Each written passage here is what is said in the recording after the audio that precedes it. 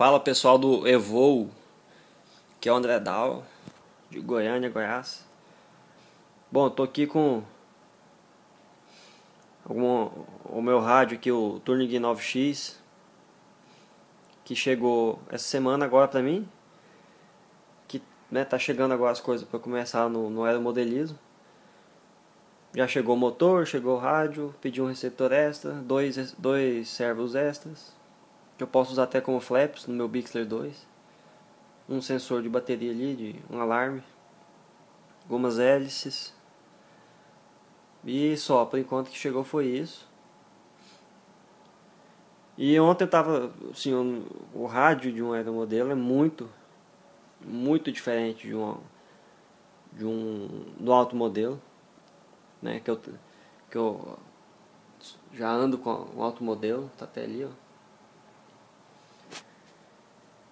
E ontem eu testando ele, os servos não param direito no, no centro, eles estão tremendo.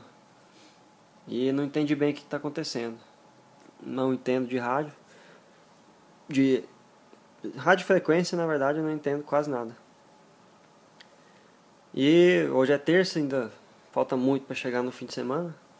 Muito não, tá? O tempo passa rápido, mas Fim de semana eu vou levar para os colegas lá que voam no passo municipal para ver o que, que eles têm a dizer. Mas decidi fazer esse vídeo aqui para mostrar para vocês. É, o receptor está aqui. Um deles já veio bindado com rádio, o outro eu fiz o bind. Bem simples.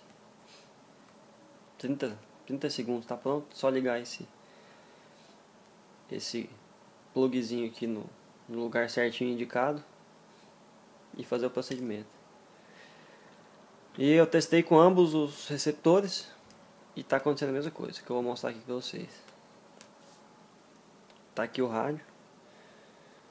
Vou ligar ele. Tá ligado, eu tô com a lanterna aqui para caso precise visualizar melhor. E aqui eu vou ligar a bateria agora e o servo no receptor. Só que para fazer isso eu vou eu tô filmando com um tablet. Eu vou prender ele aqui. Eu vou ficar com as mãos livres e conseguir fazer. Vou ligar o o servo aqui no canal canal 1 Nem lembro agora que, que o canal 1 é, mas. Servo ligado, agora vou ligar aqui a bateria.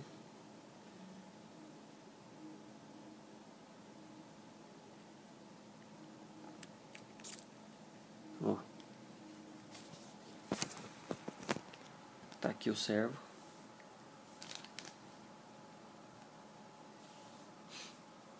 Vamos ver o que que me... aqui.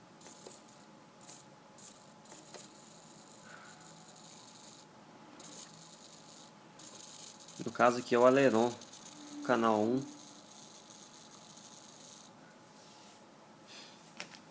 Bom, parece que o, o bracinho aqui não tá no meio. Deixa eu tentar botar no meio. Ó, tá que vibra essa porcaria.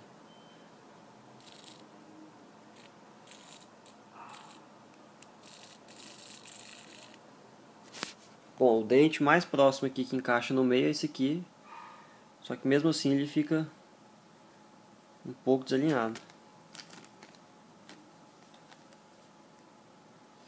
Então aqui ó, vou mexer aqui no no aileron. Ó. Agora do centro, aí, tá, tá vibrando.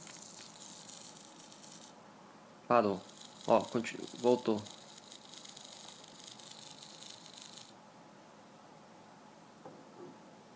Parou aqui.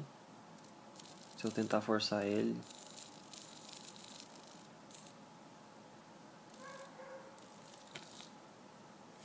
Bom. Olha, ele faz tudo vibrando. Parece um samba do, do servo doido.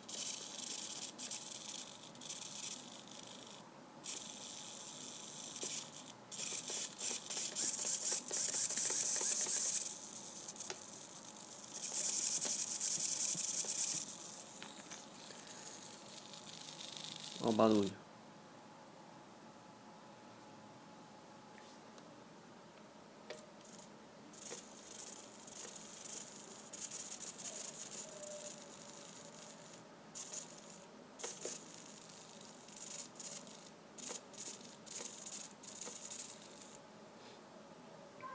Bom, então é isso aí. Pra não ter dúvida que o, esse pack aqui eu medi a voltagem dele no carregador. Ele está com exatos 6.1 volts. Não sei se é um pouco acima do, do, do que o servo trabalha. Mas até que no, no receptor fala que ele trabalha até com 6,5. Não dá pra ver aqui porque tá Vamos ver se eu botar a luz aqui. Ali, 4,5 a 6,5. No caso do receptor, né? Mas o servo... Eu não sei que voltagem que ele trabalha. Às vezes pode estar trabalhando acima da voltagem. Aliás, eu acho que é isso. Ele até esquentou um pouco só nessas mexidas aqui. Bom, vou até tirar então. Para não correr o risco de queimar. Então é isso aí. Vou postar o vídeo pra vocês aí ver o que, que, que, que pode ser. Uma coisa aqui do rádio que eu não consegui entender é o seguinte, ali tá modo 1, só que o meu o meu o modo do meu rádio é o 2, né? E o próprio manual fala que para configurar isso aqui, deixa eu ver se eu consigo segurar aqui de um jeito.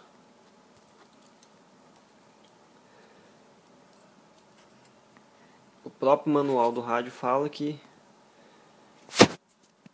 para configurar isso aqui basta vir aqui ó. Menu. System.